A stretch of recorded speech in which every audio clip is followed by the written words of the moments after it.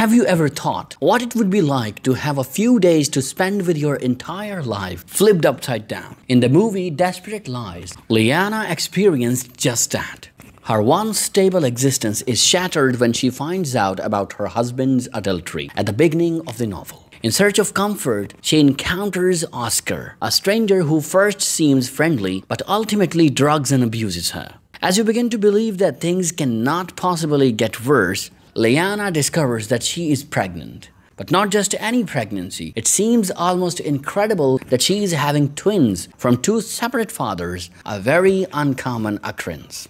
We witness Liana battle the stalk and agony of her circumstances as we follow her terrifying journey.